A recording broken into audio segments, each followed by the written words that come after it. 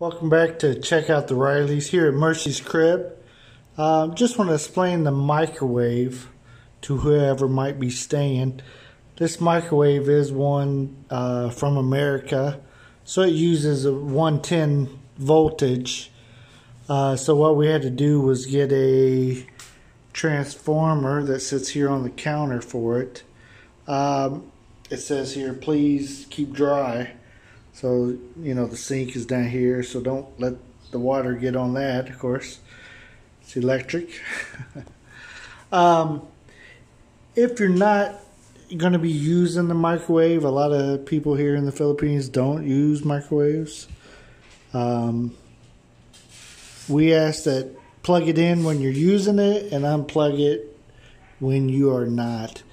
Uh, this is what you want to unplug. This is the, again, the, uh,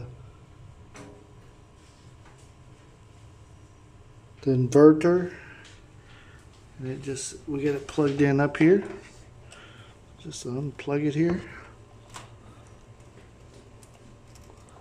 Of course, I'm trying to do it with my opposite arm here, like a wise guy. So, just lay it up there. Keep it nice and dry. And then when you're ready to use it, just plug it back in. There's a little green light on there just to show that it is plugged in. The other two items plugged into it is the fridge and the water cooler. Um, little switch here to turn it on and off as you see the light pop on and off there.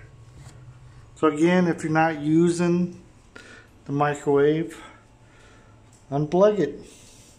That'll help us conserve energy and uh, keep everybody safe.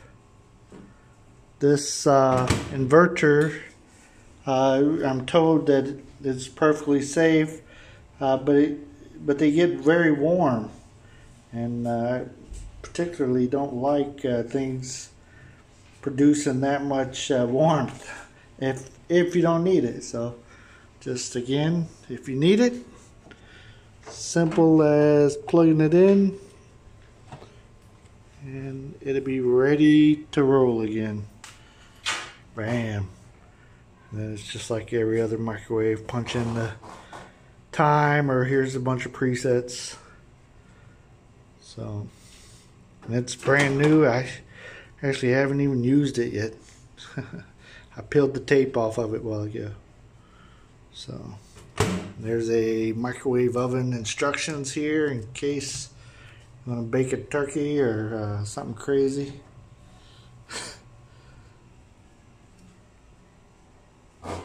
well, thank you very much for watching this video and hope you enjoy your stay.